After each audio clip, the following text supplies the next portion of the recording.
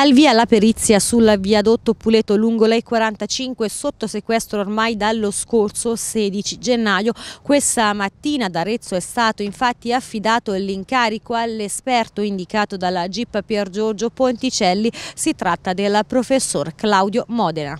L'accertamento sarà svolto come incidente probatorio che quindi in caso di processo avrà valore di prova. L'esperto docente dell'Università di Padova il prossimo 4 aprile sarà così sul viadotto Puleto per il sopralluogo. Il perito dovrà stabilire se c'è stata davvero un'omessa manutenzione del viadotto come ipotizza l'accusa sostenuta dal procuratore capo di Arezzo Roberto Rossi con i cinque avvisi di garanzia ad altrettanti dirigenti tecnici dell'ANAS oppure no come invece sostiene l'azienda nonostante gli gli ammaloramenti. La superperizia dovrà anche accertare se c'era il rischio di collasso che aveva portato al sequestro del viadotto e alla sua chiusura. Il tratto era stato poi riaperto a metà febbraio ma unicamente ai mezzi leggeri. Se le verifiche del prossimo 4 aprile saranno ritenute sufficienti, ANAS potrà poi proseguire con i lavori di sistemazione per andare verso la tanto attesa riapertura del tratto del viadotto ai mezzi pesanti, altrimenti sarà fissato un ulteriore sopralluogo.